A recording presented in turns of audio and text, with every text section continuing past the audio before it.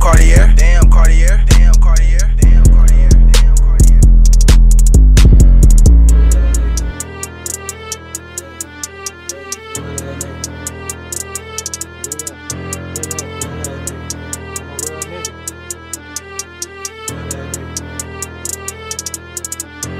Real ass nigga gon' slide on a nigga tryna dive at a nigga tryna catch me a body. Don't shoot up cribs, walk over your body. Drops in the field like I was a Nazi. I'm selling these drugs, then beat me a body. Leave his face red like he ate him a taki. Gangin' no tweaking, just popped a Somali. Your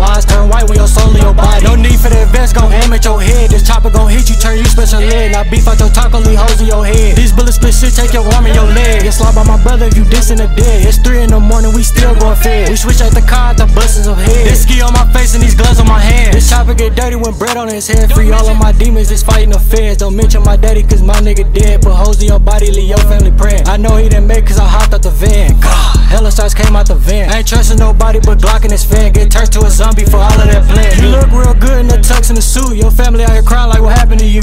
Face on the T, they be worshiping you. Caught your little homie, had sent them to you. Assist on my homie, knock him out his shoe. Hoes in his body, blow him like a flute. Turning on runs and I'm mixing with you.